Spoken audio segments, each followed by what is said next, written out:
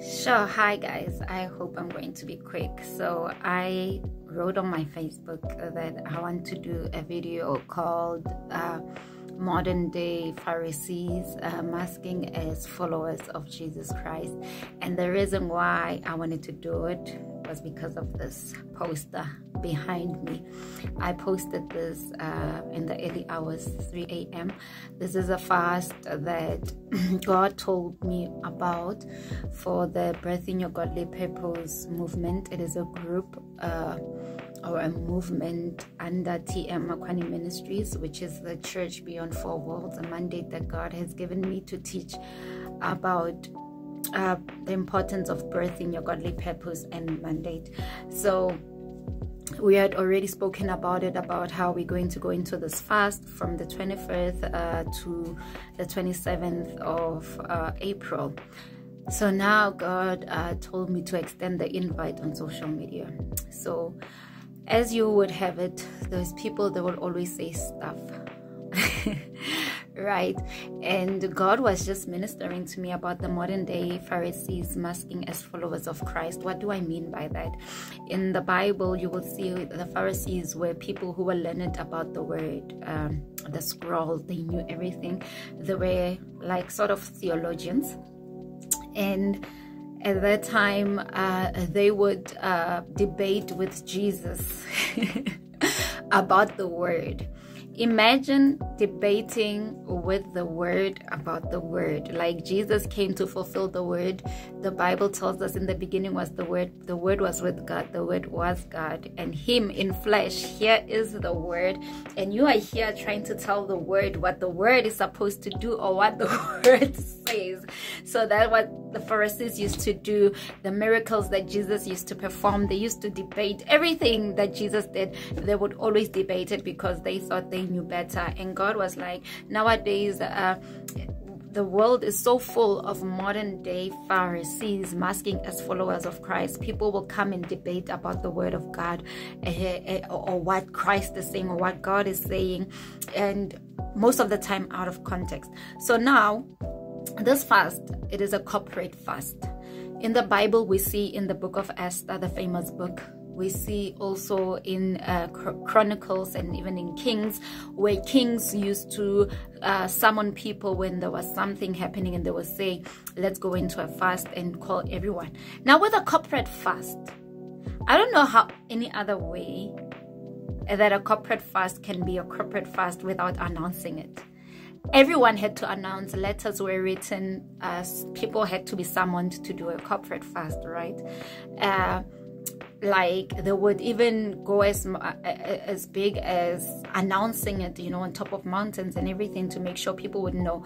Imagine if esther wanted all the jews to to fast but uh, she only told her and mordecai and not everybody else. How would people know that they had to go to a fast? So when i talk about modern day pharisees i talk about people that think that they know the word so much that they debate everything that God is doing and forgetting God Himself. Uh, they think they know everything about Christ, but forgetting what Christ and who He is. When Jesus left this earth, He said, "You greater things will you do than I did."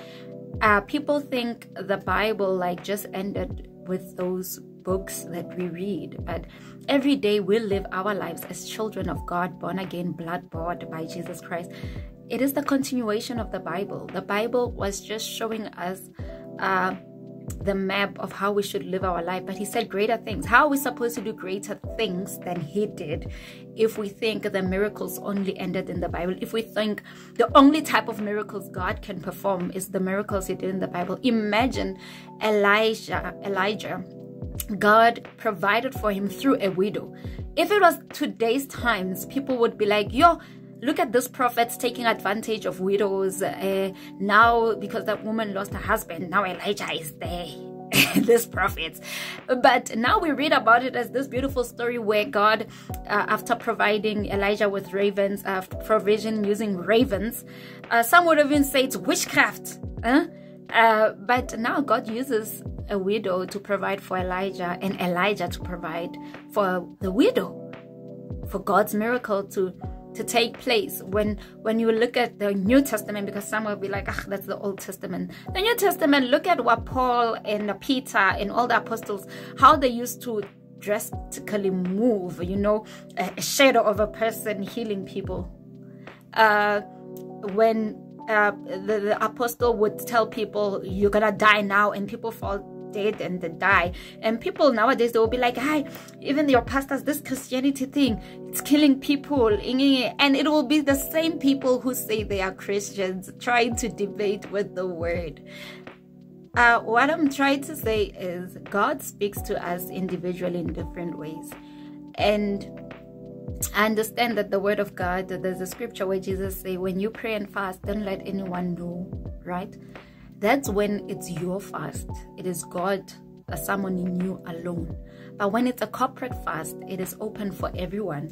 And the reason why I said people who want to join must secretly tell me because I understand the the way how a fast is supposed to go think people would think people say things or do things and we debate without understanding context and without understanding them the instruction God gave that particular person to do. And we think we are speaking on behalf of God, we think we know it all. Uh, or, or, that prayer where the, uh, God said, we shouldn't be like hypocrites uh, praying in in the corners for everyone to see but does that mean we shouldn't be doing outreaches we shouldn't be praying and doing crusades or doing open airs no He's saying the motive. The most important thing Jesus tried to teach us was about motive. Why are you doing what you are doing? There are times where you have to corporately come to join together and pray and fast or just pray or worship. And there's times where you have to go into your secret place alone without everyone knowing and praying. Let's take, for instance, charity work.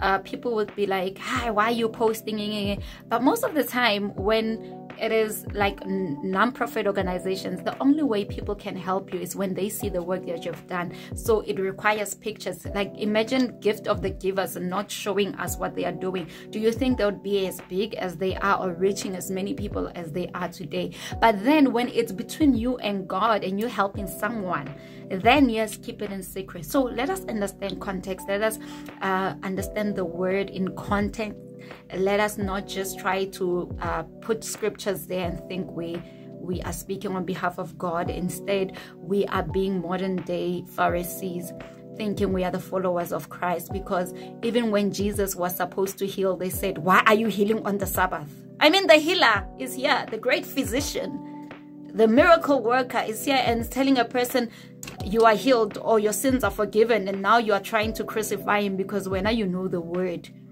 do you see how thinly we can lose it like and i think i can talk about it because i'm also a theologian so uh uh, so it's not like I'm attacking theologians or people who have read the Bible or whatever. But what I'm trying to say is nowadays there's people who think they know the word so much that, that they are denying God of being God. They are denying Holy Spirit to do what He wants to do.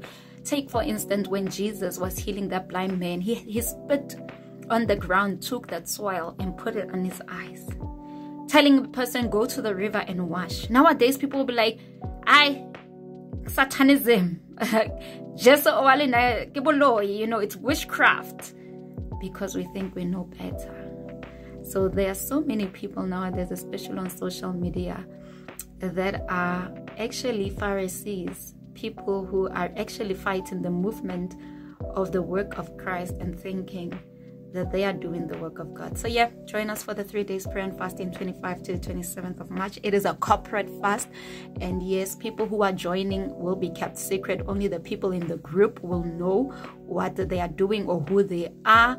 And we do it as Jesus said, and we are going to see God in a miraculous way because it is He who said I should do this. And I'll post more about this topic soon. I think I've said enough now, but there's so many things I need to say about this. But God bless you. Let us not try to stop the movement of God because uh, we think we know scripture and we throw it everywhere. Let us take time before we comment on something and really reflect and be in content and then comment. Love you.